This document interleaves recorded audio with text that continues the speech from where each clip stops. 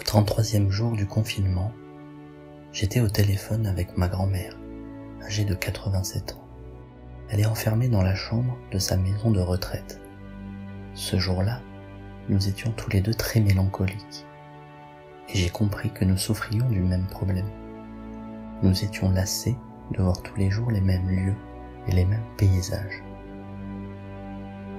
Alors j'ai proposé à ma grand-mère un tour du monde en 120 secondes. Grâce au timelapse que j'ai réalisé avec Google Street View, ma grand-mère et moi avons voyagé aux USA, en Espagne, au Canada, en Nouvelle-Zélande, au Mexique.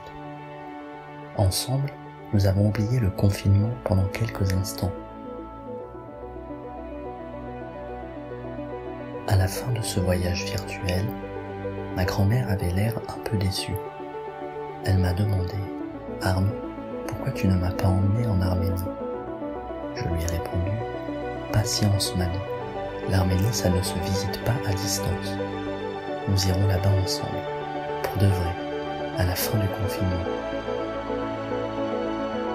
Et même si nous étions au téléphone, loin l'un de l'autre, je l'ai entendu sourire.